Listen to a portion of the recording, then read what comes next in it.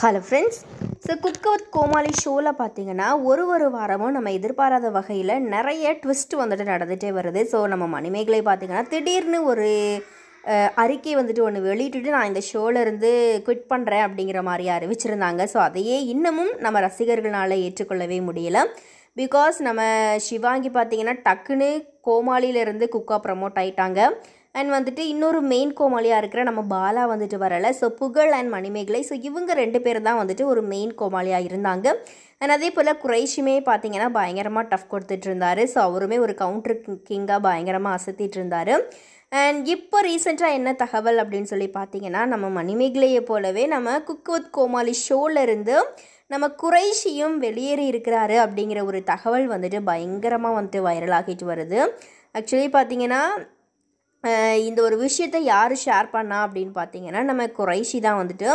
அவருடைய social media பக்கத்தில் திடீர்னு பார்த்தீங்கன்னா ஒரு போஸ்ட் வந்துட்டு ஒன்று போட்டிருக்கிறாரு. அதாவது thank you so much CWC for all the memories அப்படிங்கிற மாதிரியா போட்டு கை கூப்பி கும்பிடுற மாதிரியான இமோஜிஸ் நிறையவே ஷேர் பண்ணியிருக்கிறாரு. அண்ட் ஸோ இதை பார்த்ததுமே நம்ம ஃபேன்ஸ் எல்லாருமே பயங்கரமாக வந்துட்டு அப்செட் ஆகிட்டாங்க பிகாஸ் ஏன் திடீர்னு இந்த மாதிரியாக ஒரு போஸ்ட் போட்டிருக்கிறாரு?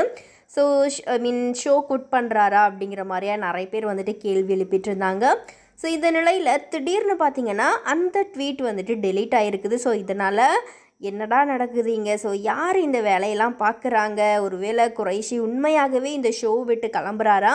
அப்படி இல்லைன்னா வேறு எதுனா போஸ்ட் பண்ண போய் இந்த மாதிரியான ஒரு விஷயம் நடந்துருச்சா? என்ன? ஏது? அப்படிங்கிற மாதிரியா? உண்மை தெரியாமல் பயங்கரமாக ரசிகர்கள் எல்லாருமே குழம்பி போய் இருக்கிறாங்க. ஸோ கண்டிப்பாக இப்போ இருக்கையில் பார்த்தீங்கன்னா நம்ம புகழ் அண்ட் குறைஷி வந்துட்டு ஒரு மெயினாக டஃப் கொடுத்துட்ருக்குறாங்க கோமாளியா. கண்டிப்பாக குறைஷி போயிட்டாரு அப்படின்னா அந்த இடத்துல ஒரு மிகப்பெரிய ஒரு வெற்றிடம் உருவாகும் அப்படிங்கிறதுல மட்டும் எந்த ஒரு மாற்று கருத்துமே கிடையாது.